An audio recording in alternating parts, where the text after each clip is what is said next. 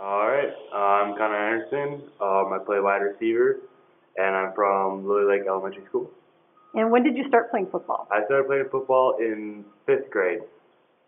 And what what was that like? What team were you on? Um, I was on the Broncos team, and um, I play with basically the same people I'm playing with today, and it's really fun. So.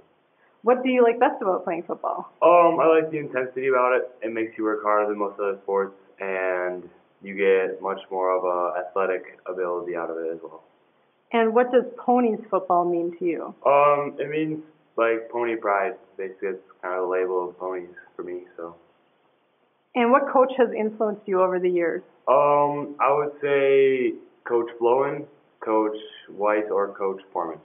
Can you talk a little bit about that? Um, Flowen's dad has always been kind of a major guy for football because he's my Broncos coach and he's always been talking to me about football. And then Weiss is always, he's my actual position coach, so he's always been there for me. And then Portman, he's kind of a more stricter, not not too strict, but like he did, he'll get under you sometimes and he'll work more. So.